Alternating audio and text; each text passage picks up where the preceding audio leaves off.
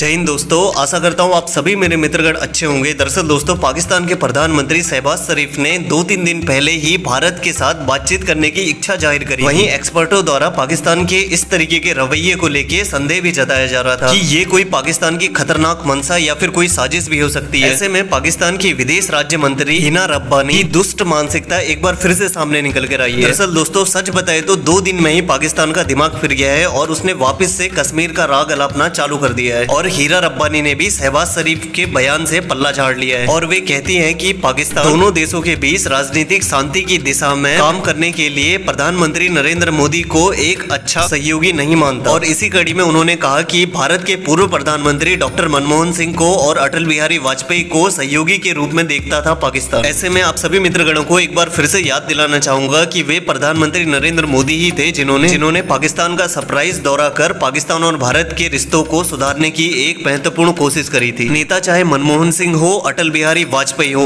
एक बार पाकिस्तान के साथ अच्छे संबंध स्थापित करने की कोशिश सबने करी। लेकिन इस बात को पूरी दुनिया जानती है कि भारत के द्वारा किए जाने वाले प्रयासों के ऊपर पाकिस्तान हमेशा से पानी फिरता है और पाकिस्तान के साथ किए गए अच्छे रिश्तों की शुरुआत के कुछ ही महीनों बाद पाकिस्तान की तरफ़ से उरी और पुलवामा जैसे रूह कपा देने वाले आतंकवादी हमले किए जाते हैं। स्विट्जरलैंड के दाबोस में वर्ल्ड इकोनॉमिक फोरम में हिना रब्बानी खान ये कहती हैं, जब वे विदेश मंत्री के तौर पर भारत गई थी तो बेहतर रिश्तों के लिए उन्होंने कड़ी मेहनत करी थी। वर्तमान स्थिति के मुताबिक हम उस समय काफ़ी बेहतर स्थिति में थे। खान ने अपने इंटरव्यू में कहा कि पाकिस्तान अतीत से सबक सीखकर आगे बढ़ना चाहता है। लेकिन उन्हें ऐसा लगता है कि भारत हमेशा से एक ऐसा देश था जिसे सभी धर्मों का अस्तित्व था, लेकिन अब ऐसा नहीं है। हालाँकि आप सभी मित्रों को बताना चाहूँगा कि भारत के ऊपर सवाल उठाने वाली ये पाकिस्तानी अधिकारी शायद अपने मुल्क के हालातों से रूबरू नहीं है। पाकिस्तानी लोग रोटी, कपड़ा और मकान जैसी बेसिक जरूरतों के लिए हाय तोबा कर रहे हैं। वहाँ के लोगों के पास नौकरी नहीं है और पाकिस्तान द्वारा पाले गए आतंकवादी अब उसकी छाती पे बैठकर उसे खून के आँसू रुला रहे हैं। और पाकिस्तान की इतनी दयनीय स्थिति होने के बाद भी पाकिस्तान के अधिकारी कश्मीर का राग अलाप रहे हैं। आप सभी का इस खबर पर क्या मानना है? कमेंट्स करके अपने वैल्यूबल विचार ज़रूर बताइए। धन्यवाद। जय हिंद। भारत माता की जय। वंदे मातरम।